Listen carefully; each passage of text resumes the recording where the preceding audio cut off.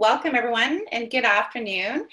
I'm Leanne Graham, the VP of Marketing here at Pearson. I'm joined here by my colleague Darcy Pepper, who is the Marketing Manager for Pearson MyLabs, as well as the organizer of today's session, as well as our guest speaker, Will McNally, who I'll introduce formally in just a moment.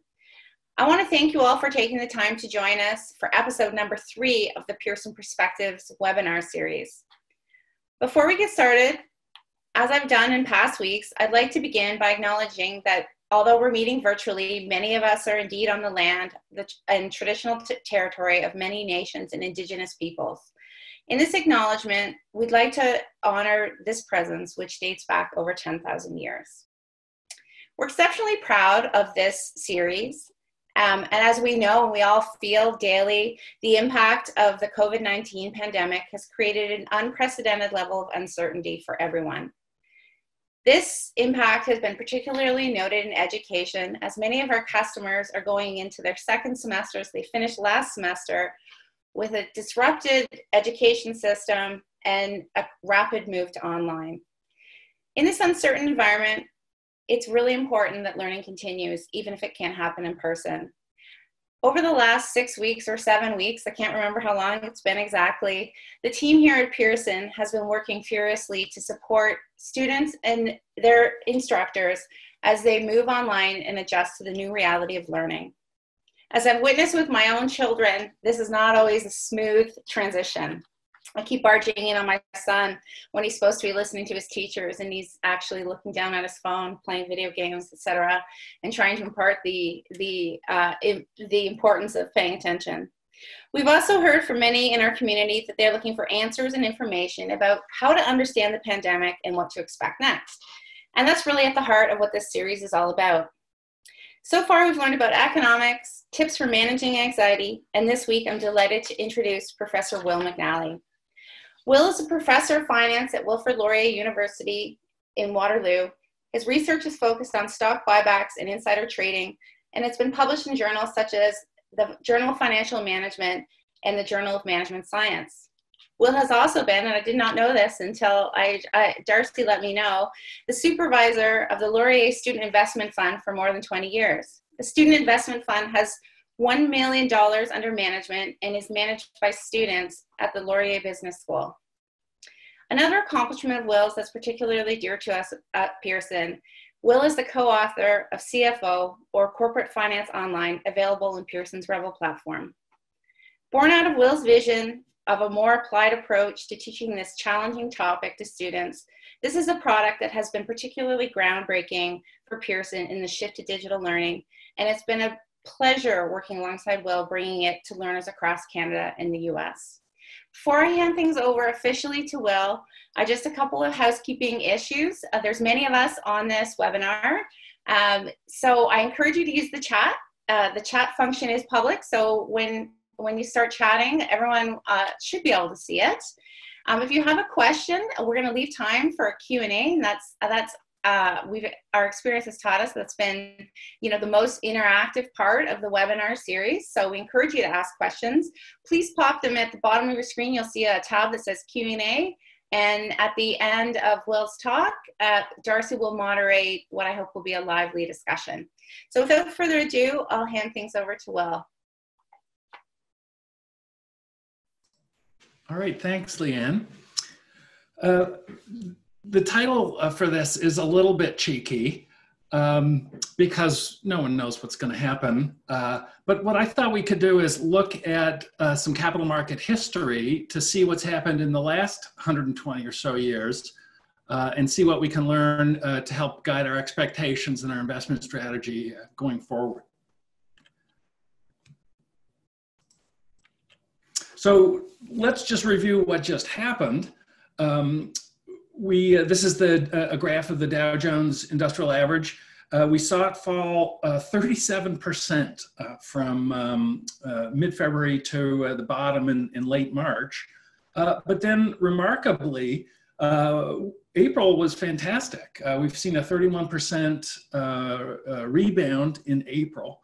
Now, the funny thing, uh, you know, is that uh, when you're down 37%, going back up 37 uh, doesn't get you back where you were because the denominator changes.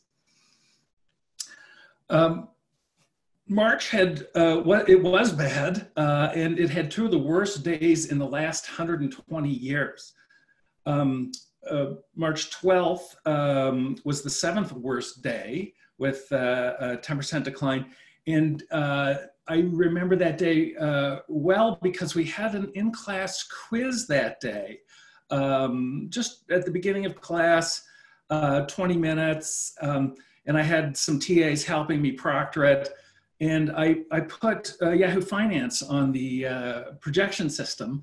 And as the students were working away on the quiz, I watched uh, the markets drop about five or six percent in the space of, you know, an hour, hour and a half. Uh, it was just remarkable seeing it, you know, my financial future disappear, and they were oblivious to it.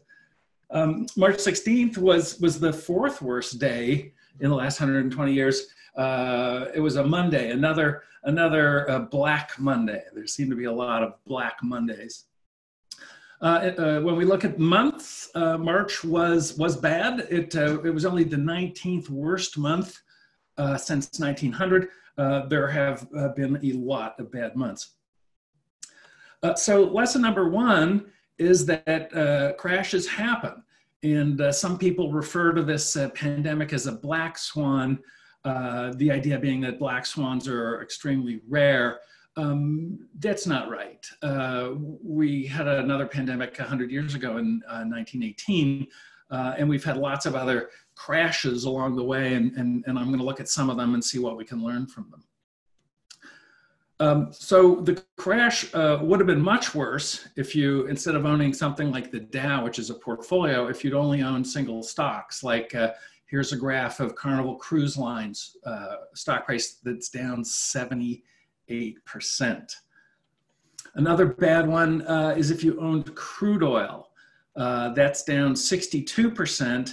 Uh, and at one point, this is the crude oil futures contract with the June delivery. At one point, uh, uh, in April, that price was negative. Uh, a negative price is remarkable. It's never happened before. What that means is, is that if the contract goes to completion to delivery, uh, the seller will deliver a thousand barrels of oil and cash. They're actually paying people to take uh, the oil away because, of course, there's just nowhere to store it right now. Uh, you'll be familiar with that feeling if you've ever tried to sell a couch or a piano. So lesson number two is uh, diversify. Uh, it's difficult to predict winners and losers. Uh, if we don't know the specific source of uh, the, the economic threat, our best strategy is just to hold all the different possible industries and firms that we can. Uh, and for example, with respect to the oil, did anyone forecast that a global pandemic would happen uh, right at the same time that Russia and Saudi Arabia were having a supply fight? You know, that's that was just a remarkable set of circumstances that just uh, devastated demand at the same time as a, there was a, a huge glut. Uh, the surprise is April. Um, I don't think anyone's uh, expecting the economy uh, to come out of this uh, very quickly, uh, but um, uh, April was the 10th best month since World War II. Uh, here's an interesting table I want to spend some time on. Um, th this is fund flows from the US. So this is dollars flowing in and out of mutual funds and exchange traded funds. Uh, and on the and we've got five different weeks here. So if you look at the far right, um, this is the week ending March 25th. There was a massive outflow. Almost everything's negative. 156 billion dollars left. Everything except commodities. And that was just a flight, uh, a flight to cash out of securities. But there's some other interesting stories as we move forward. Um, in the weeks that followed, uh, we saw uh, a return to domestic equities uh, on the top row and a little bit of a return to bonds. If you look at the whole period for domestic equities, uh, it's pretty much flat. It's uh, all the money that left in March found its way back in in April, and it's it's it's about flat for the whole period. But world equities or foreign equities uh, were, were devastated. A lot of money uh, ran out of uh, foreign equities, and you can think of that as, as, as um, going to cash or, or maybe going to domestic equities or bonds. So overall, what we're seeing here is a uh, $148 billion outflow uh, out of uh, um, bonds and stocks over the whole period. So people, people were largely leaving securities and going to cash. And that leads to lesson number three, which is don't try and time the market. Um, people who sold in March probably didn't have the courage to buy back in April and missed that bounce. And the fund flow data shows us that that was in fact the case, that there was a lot of money that left the markets um, and didn't come back in April. Uh, corollary maybe of, of lesson three, lesson 3A, I called it, um, don't make losses real by selling uh, at the bottom of these, these panics. That just uh, solidifies your loss. Let's see what we can learn from uh, past pandemics. I don't know if you saw the uh, news clip uh, this past week. A, uh, a teen in, in England got dressed up in this um, doctor of the pandemic outfit and, and walked around his neighborhood, alarming residents, and, and got a stern talking to from the police. Uh, so here's a graph of uh, the Dow. Um, from uh, through World War One and the Spanish flu. Now these uh, overlapped a little bit. The World War One's uh, yellow, the Spanish flu uh, is uh, blue, and they overlapped in the green area. So um, uh, World War One ended in late 1918. Uh, Spanish flu uh, started at the beginning of 1918. Uh, and what, what we can see here is that as the war wound down, markets rebounded, but the Spanish flu ended up reversing that. And your best investment strategy with regard to that was uh, to invest afterwards, and, and the markets came back uh, pretty quickly. And uh, within about three years of um, the end of the Spanish flu, uh, you were up 35%. But uh, buying after the Spanish flu didn't end real well. Uh, this isn't a great period in investment history. Here's a graph uh, from the end of the Spanish flu through to just the eve of the Second World War. And the peak is, is uh, 1929, just before the Wall Street crash. Uh, the gray line is the is the is the actually it's the S and P index level, and then the dotted line uh, is is the compound annual rate of return you'd earn if you had invested right after the Spanish flu. So it rises nicely as uh, the index rises, and then plummets with the Wall Street crash and then the Great Depression, which is that gray area. And by the end of it, on the eve of the Second World War, you've had a compound average annual return of 3.2% over an 18 year period, which is not a good return. What about SARS? What can we learn from SARS? So, this was uh, a recent pandemic uh, in uh, 2002, 2003. Um, it looks like markets actually rose during SARS here in the dark shaded area. Uh, but the problem is that SARS uh, overlapped with a recession that started in March 2001. And to address that recession in early 2001, Alan Greenspan lowered interest rates. And then in June of 2001, uh, George Bush uh, lowered taxes. So those, the, the, fiscal and monetary policy there stimulated the economy and the markets uh, uh, responded to that. And so uh, I don't think we can learn too much from this, although uh, if you um, if you had invested at the uh, at the bottom there and held to um, late 2007, which was the eve of the financial crisis, you, you had a really good return of 11.6 uh, compounded annually. What can we learn from um, stock market crashes? Uh, well, the big one uh, was the Wall Street crash of 1929, uh, uh, down 34% in uh, October and November of 1929. But that wasn't the worst of it. Um, uh, here's a longer time period. Uh, the peak is uh, September of 1929. Then we see the Wall Street crash. Uh, it, it, rises a little bit, recovers a little bit, but, but uh, falls then for the next sort of two and a half years. And, And over the entire three-year period to um, uh, the late 1932, you're looking at an 85% decline in, uh, in the market. Another bad day was uh, Black Monday, October 19th, 1987. Uh, the Dow fell 23% on one day. Uh, and then, of course, the tech bubble of 2000. Uh, so this graph is showing the NASDAQ Composite Index, and you can see through, the, the graph starts on the left edge in uh, early 1999. In 1999 was a remarkable year. The stocks were up on average 129%. And then in March uh, 2000, we saw a drop uh, of 34%, uh, a little bit of a recovery, and then uh, a continued decline for another uh, year, year and a half of, of, of, of 68%. This is a, uh, an interesting period to me. Um, I arrived at uh, Laurier in the summer of 1999. I had been teaching at the University of Victoria, and arrogantly and foolishly, I took my entire pension uh, and thought I can invest it better than the UVic pension plan. Well, through the fall of 1999, prices rose, and, and I didn't want to invest. It, it, it, I really worried about overvaluation. And then in March, we saw this precipitous fall, and I thought, okay, this is my chance to get in the market. So I invested all of my UVic pension in uh, NASDAQ shares, tech, tech shares. I looked brilliant for a few months into the summer of uh, 2000, uh, and then uh, it uh, continued to fall.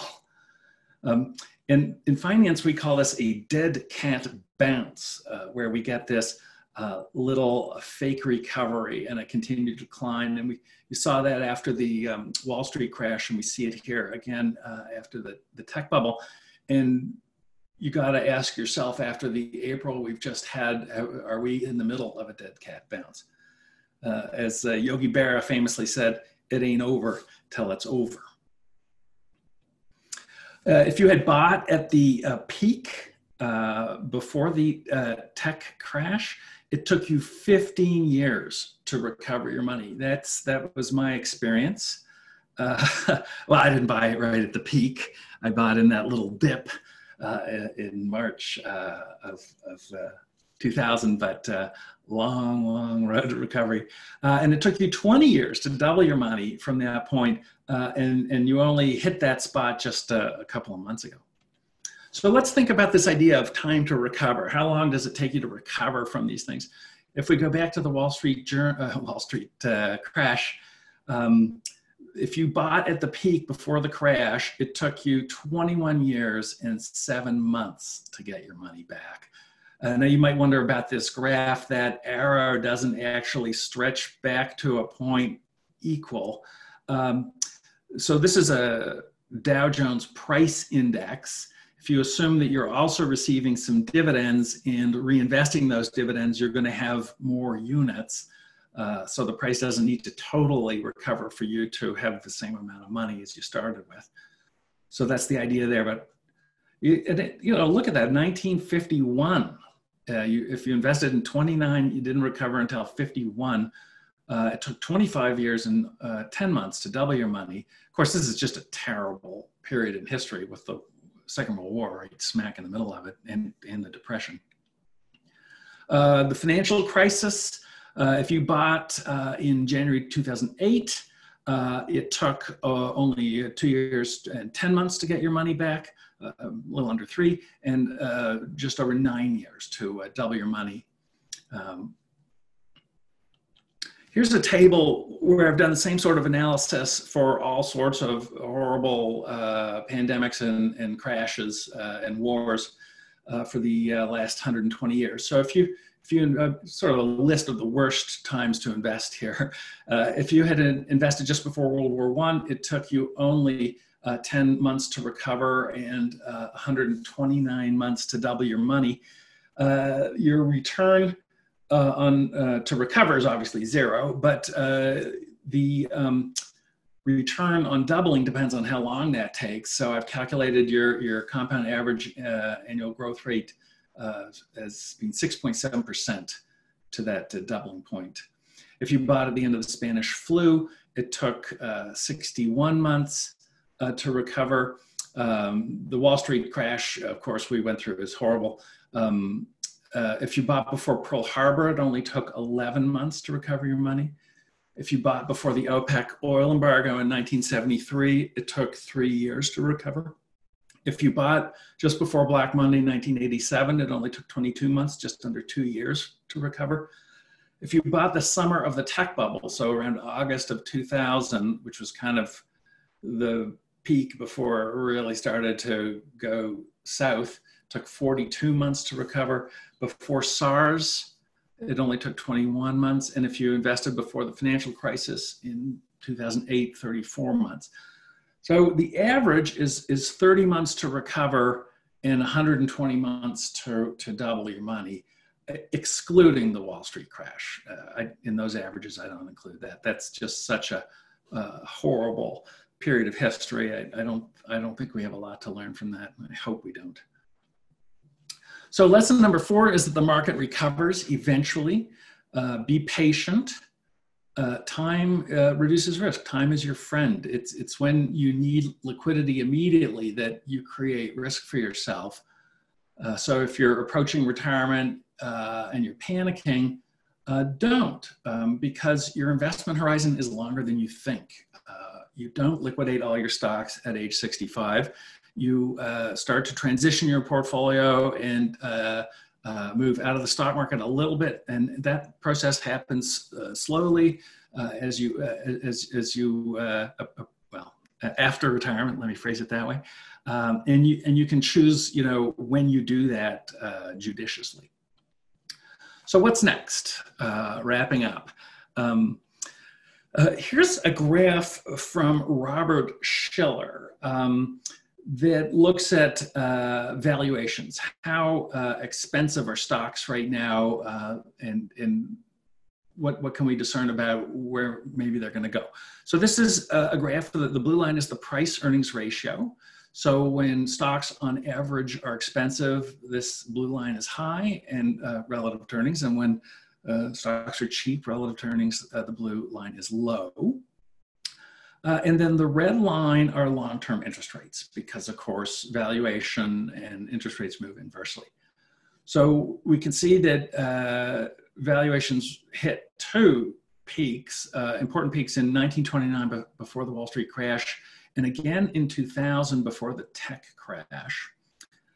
Uh, and what we're seeing now is uh, that uh, the P is around 25, so it's nowhere near its all-time high, um, and you know it is going to be high because interest rates are so low, but you you still get the sense that valuations uh, could uh, fall uh, pretty substantially and still not be regarded as historically abnormal. So I don't know if this makes you feel better or or not. Uh, valuations are not crazy right now, that's for sure. Uh, now here's the here's the crazy uh, part. Uh, what if you asked me to forecast uh, where the market's going to go?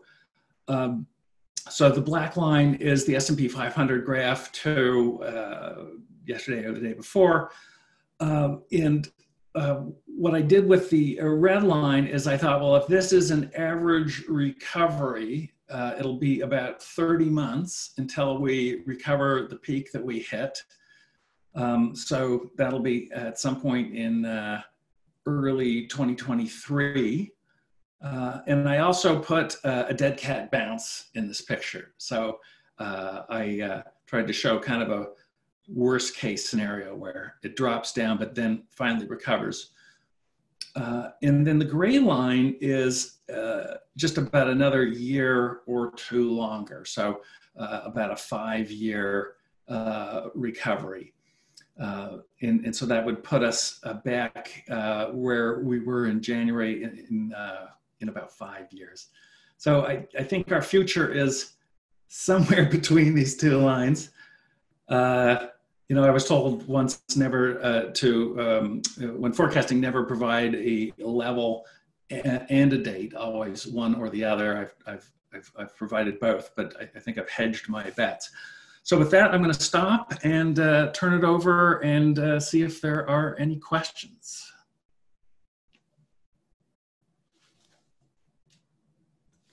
Hi, Will. Yes, we have um, lots of questions that have come in so far, and there are uh, there is an opportunity if you, you do have questions for Will directly, just uh, put them into the Q and A uh, button at the bottom of the ribbon. Um, the first question, and I think that you kind of already um, touched on this, but just eh, you know, you, you talked about it at the end. Like if you had to to, to guesstimate of how uh, long this recovery will take, um, what what's your sort of your best answer to to that to that, like forecasting how long it's going to take for for the uh, stock markets to recover? Yeah, I think this graph is is my best estimate at that. Uh, I think I think we hit about 3,400 on the S&P 500. Uh, I can see us getting back there by 2023 to 2025, but I'm not too sure what happens next. I mean, are we going to see a dead cat bounce, or are we going to see the markets kind of just fluctuating wildly? Uh, there's you know there's still we still have to process what's happened we don't really understand the business implications of what's just happened and uh, and the the government uh, finance implications okay um, there's a question here about uh, the domestic equities it says will mention that purchases of domestic equities bounced back in march and april but i see world or foreign equities remain negative uh, so people kept selling um, what's the difference between activity in the domestic versus international equity trading? So that table, I mean, I'll go back there. Uh, this table is US data. Uh, so these are all um, US mutual funds and uh, US uh, exchange traded funds. And, and by world, what they mean is that would be a, a, US mutual fund or ETF that buys foreign country stocks. And, and a domestic one is just buying US stocks.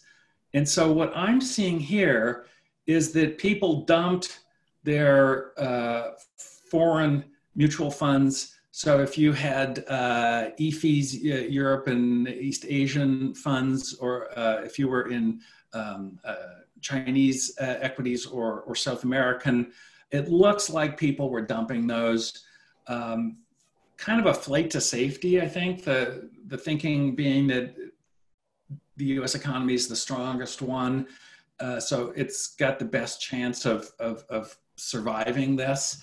Uh, whereas, uh, you know, you're not really sure at this point uh, what's going to happen with some of these uh, developing nations. Um, okay, there's a question here about, um, oops, sorry, another question just came up. Um, okay, so it says firms with stronger balance sheets and essential companies can survive this. Do you believe there will be overinvestment in such companies and portfolios will be less diversified? Um, yeah, that's that's an interesting uh, point um, there's nowhere to go right now with your money. You know, yields on bonds uh, are are infinitesimal. Um, my my thinking was that with all these governments um, borrowing so much, it would push yields up as they compete for investor dollars.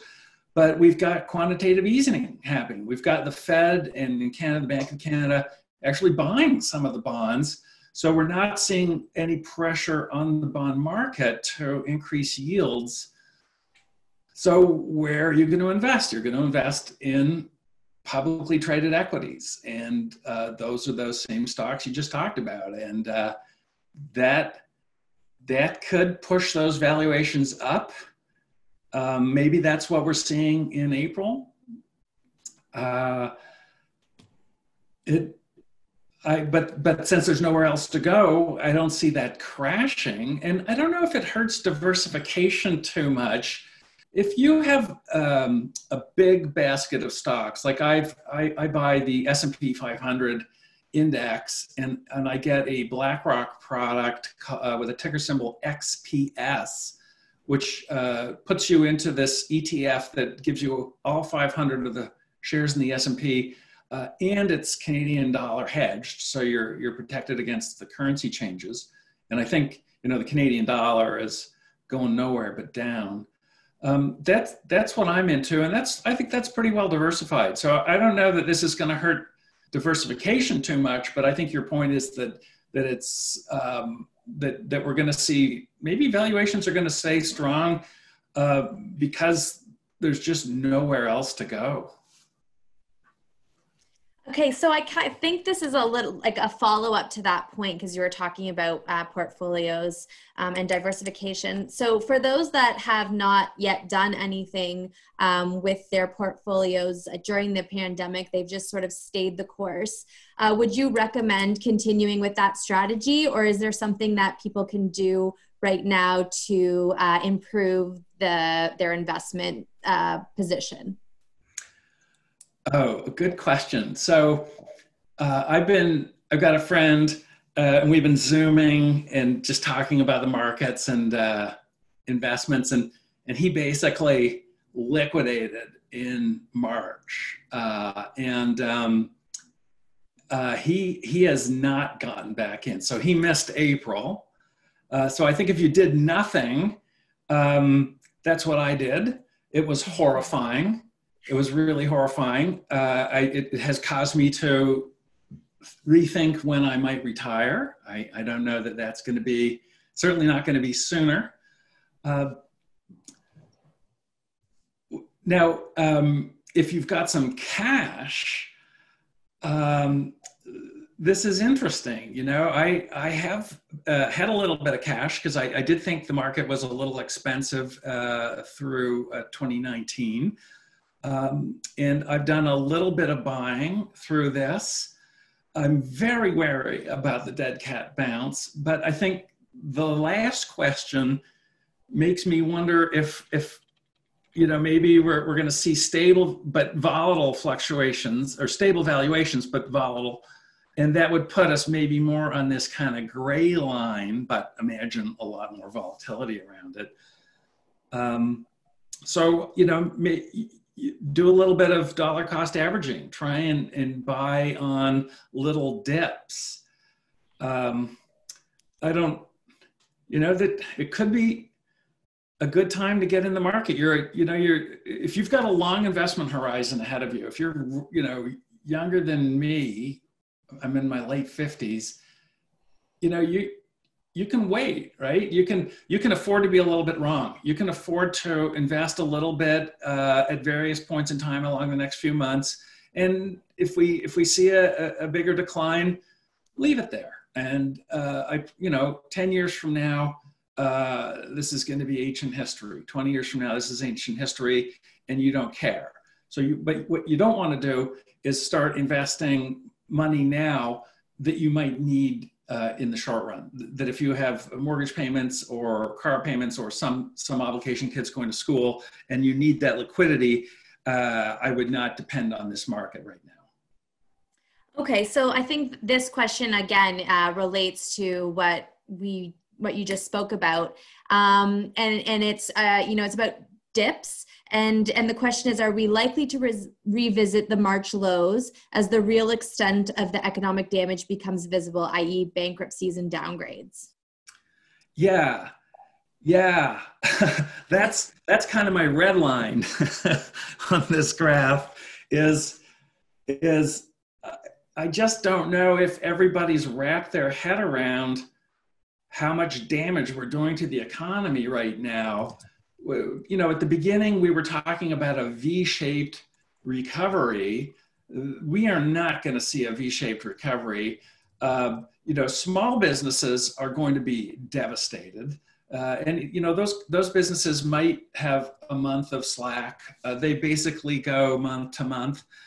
Uh, if we talk about extending this uh, lockdown into the end of um, of uh, May, we're going to see um, uh, the small uh, restaurants, uh, small businesses start to fold.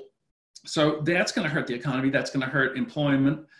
Uh, I also think, you know, when you think about public equities, um, I can't see consumer discretionary stocks doing well in the near term. Uh, you know, I think what we're going to see is people increase their savings rates uh, because this has put the fear of God into them. Um, so they're going to cut back on consumption. I think we're all being more uh, careful with um, and frugal. Uh, you know, not throwing away uh, food, uh, not sort of being quite as disposable. So um, I, I, think the consumer discretionary is is uh, that whole sector is going to be very slow to recover. Um, uh, uh, you know, any of the travel companies. Um, I was just uh, looking at a website. Uh, oh, I, I, guess I could share it with you. Could I not? Can you? Can you? Are you guys seeing this website?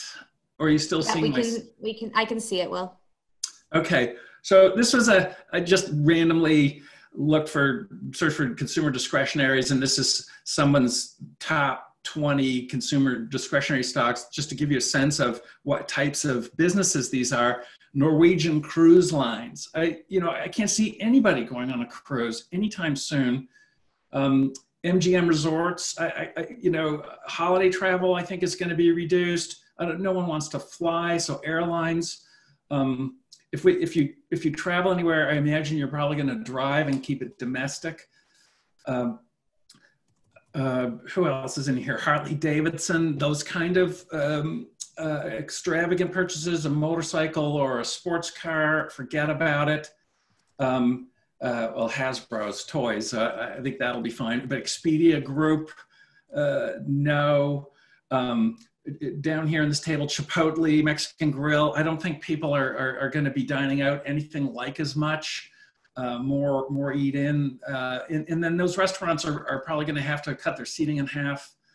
Um, so yeah, any of these stocks, Nike, um, athletic apparel, um, I I just don't see these recovering quickly.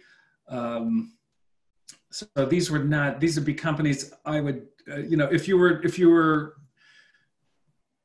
picking and choosing your sectors, I would not choose this sector. My approach is, as, as I told you, is is just a broad, broad diversification. There's been a couple of questions about um, some of the other um, pandemics that you've referenced, and for example, the the 2018 crash just with uh, the COVID 19 pandemic affecting so many uh, sectors of the economy, is it a different type of crash to uh, some of the other um, some of the other pandemics and downturns that you referenced in the presentation? Uh, yeah, well, different in, in two ways. Um, like if you go back to the Spanish flu, um, we didn't have the communication, we didn't have the public health, we didn't have uh, the data, the testing, um, the hospital facilities. So the death rates were way worse, way, way worse. Uh, so that just destroyed, you know, the World War One uh, destroyed uh, almost a generation of men, and then anyone basically who survived it then was was killed by the Spanish flu but the economy didn't stop. Um, uh, although the employment and labor force shrank. Uh, so we, we, if you go back to that graph, it was kind of climbing out of World War One, um, and and uh, and and the Spanish flu obviously hurt it, but it didn't destroy it. Uh, um, whereas you know, what we see with the lockdown is is just uh, we are destroying this economy, um, and you you can't just turn it back on like a switch.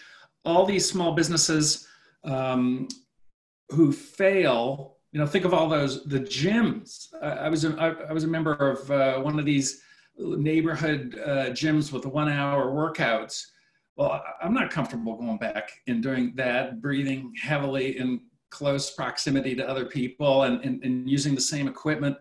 Um, they're going to they're going to fail and then those owners aren't going to have enough liquidity to restart their business and they're not going to be able to rehire the trainers who work there so we're going to see uh, sustained wounds uh, from uh, this that are going to take a while to to work through um, and and our our behavior is going to change. I, I think this is going to affect us a little bit like the Great Depression. I don't know if you have any like grandparents or anyone that you knew that lived through that, but uh, you know, those people really had a different attitude. Uh, like I, in fact, it's the difference between my wife and I. She she's like a squirrel. She keeps everything, and I'm I'm, I'm and I'm and that's because her uh, grandparents. Uh, really, and, and, and her parents grew up in, in World War II England. So there was a, a family culture of,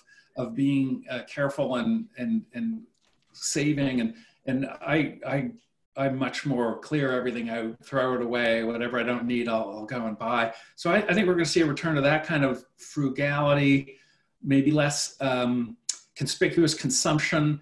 Uh, you know, one thing that happened after uh, the, the Depression was uh, people. Uh, it was the it was when jeans got popular, blue jeans, because uh, people didn't want to dress ostentatiously in public. So even uh, wealthier middle class people would wear the working class clothing.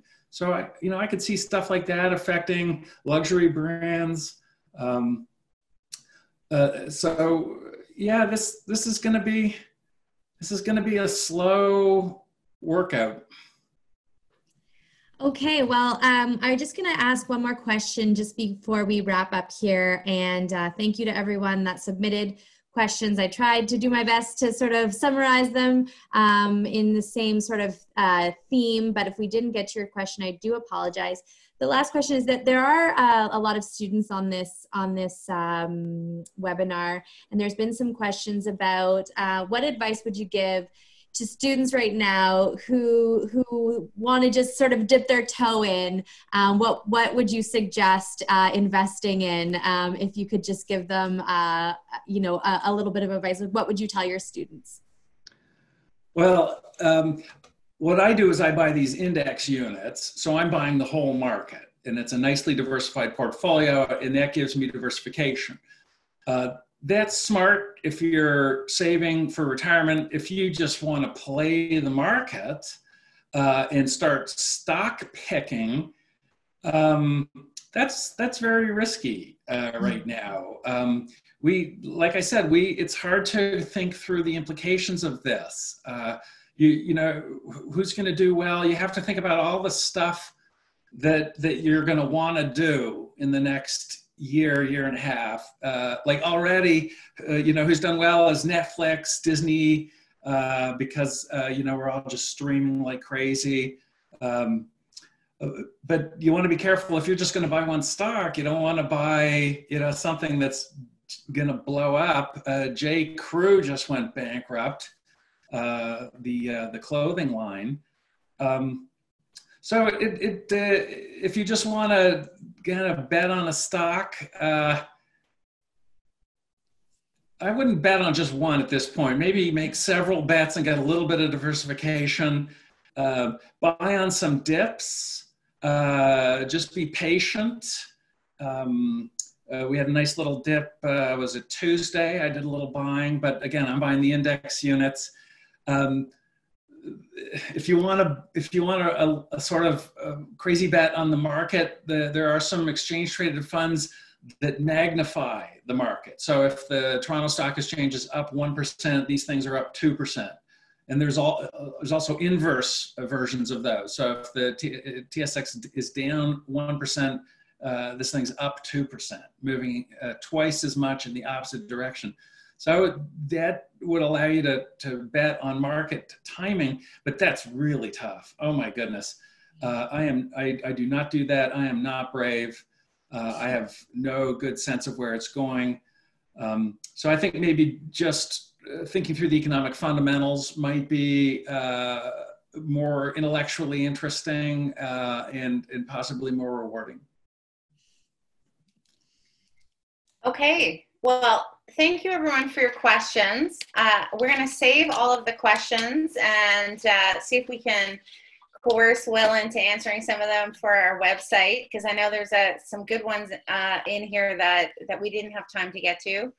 I appreciate the, the talk, Will. There was a lot in there. It was great to see uh, the historical context. I, I also didn't realize that we called that a dead cat uh, bounce. So that's that's uh, something I'm going to be quoting liberally in, in conversation for the next couple weeks for sure. Uh, so we really appreciate it, and thank you to all the attendees. We we uh, are delighted to host you again this week. Next week we're back with episode number four. We have Lisa Salem Wiseman, who's who's from Humber College, talking about communicating during a pandemic. So very important, another very important topic. And uh, with, without further ado, I'll close things off and everyone have a safe and healthy afternoon and enjoyable evening. And see, hopefully see you next week.